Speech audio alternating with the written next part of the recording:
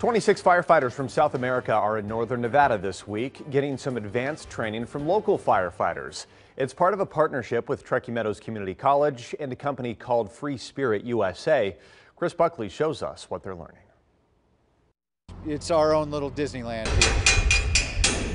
Carson City's Regional Fire Training Center welcomed more than two dozen firefighters from Chile this week for some advanced training. We've been doing everything from fire command to fire control, a little bit of wildland fire command.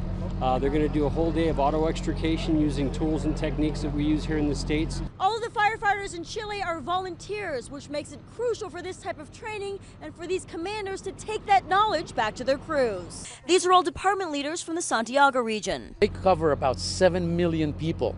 So the impact of what we're teaching them here this week, we think is going to be tremendous when they go back and start putting it into everything, eh, you know, into work in their own departments. And it's not just about the skills and techniques. They'll also go on calls with local departments. The hope is to build cohesiveness and leadership and bring that knowledge to the 15,000 firefighters under their command. They're eating the same place, they're, they're running, they're sweating, they're, they're doing what they don't do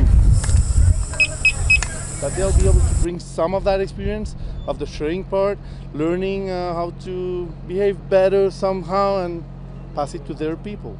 This is the first time TMCC has done something like this. The firefighters from Nevada, Carson City, and the other jurisdictions that are supporting this program this week phenomenal firefighters, excellent instructors, and to have the opportunity to teach the firefighters from Chile is fantastic. And it's a program they hope to continue. A lot about what the professionalism of the job is all about and sharing information with each other, learning from each other, and the camaraderie. Covering the story in Carson City, Chris Buckley, 2 News.